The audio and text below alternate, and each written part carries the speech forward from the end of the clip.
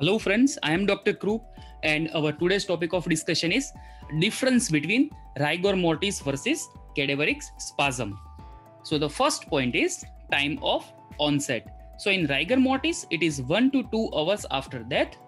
Whether in cadaveric spasm, it is immediate.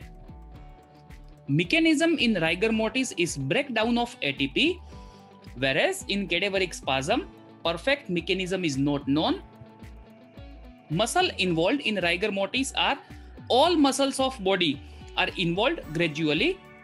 In cadaveric spasm usually group of muscles like hand are involved. Muscle reaction in rigor mortis it is acidic whereas in cadaveric spasm it is alkaline. Reaction to electrical stimulus in rigor mortis does not respond whereas in cadaveric spasm it responds.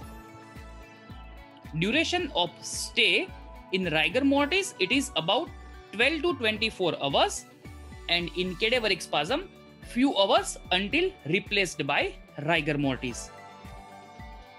Degree of stiffness in rigor mortis it is comparatively moderate whereas in cadaveric spasm it is comparatively strong.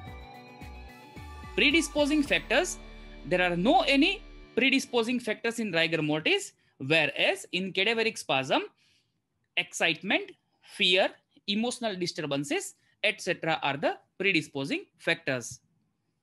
Medico-legal importance, rigor mortis helps to know time since death, position of the body, whereas cadaveric spasm helps to suggest manner of death. So this is very important if you want detailed information about rigor mortis and cadaveric spasm, we have given links below in the description box.